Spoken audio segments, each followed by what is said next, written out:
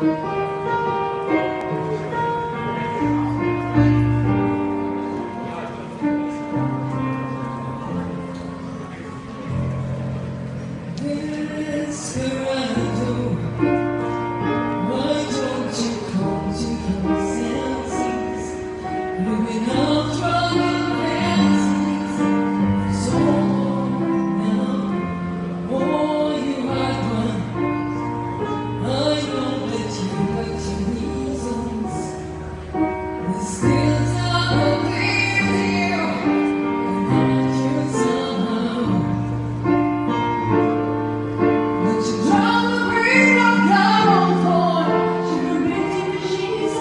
Desperate